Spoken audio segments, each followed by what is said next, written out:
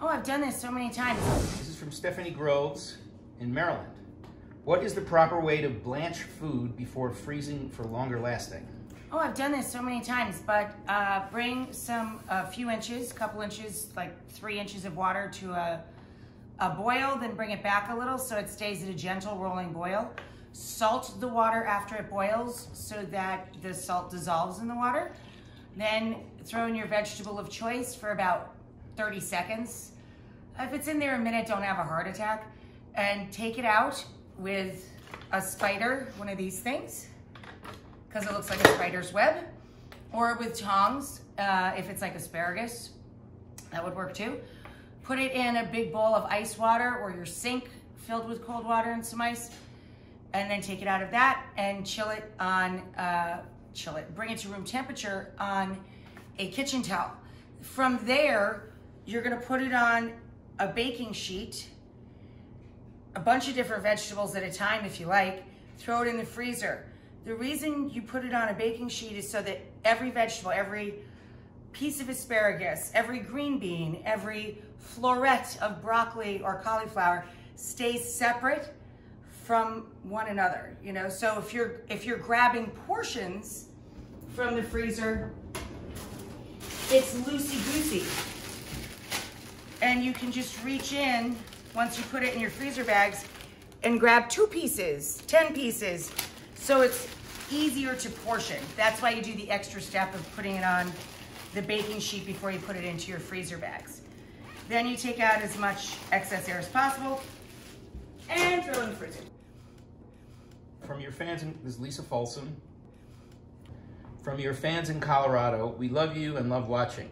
Being on quarantine, does Isaboo have any favorite recipes that you could share, especially for fur babies with sensitive tummies? Oh, Isaboo has a sensitive tummy, and she is an over 15-year-old fur baby who's sound asleep right now. Um, I think she finds her show incredibly boring. She falls asleep every single episode. anyway, Isaboo's on a restricted diet, but let me just say this. Nutrish, the brand that uh, I created, that we created for Isaboo, we made it so that we could put out the highest quality product for every diet of every animal that we would feed. We started with dogs, then we added cats, of course. But because of that product line, we've been able to support over 36 million or something and counting. Yeah. And our friends at Nutrish have just generously donated. We gave away $4 million to COVID-19 relief.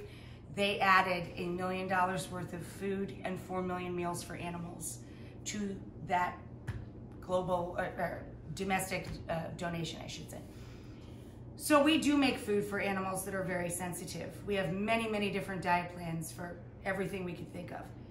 But what we make her every day is couscous, so it's soft on her palate and she won't choke on it. And then separately, I poach very lean meat. I trim it myself, chicken, lamb, or beef.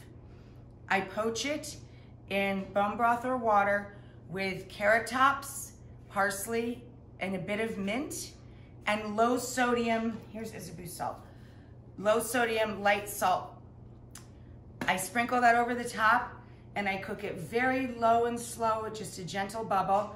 I let it cool in its own broth and then I finely chop it, mix it all back in, and I add a grated carrot for every pound of protein.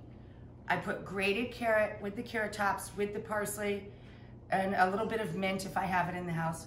Put that all together, cook that, and then I combine the two, but I keep them separately in the fridge so the couscous doesn't get too wet.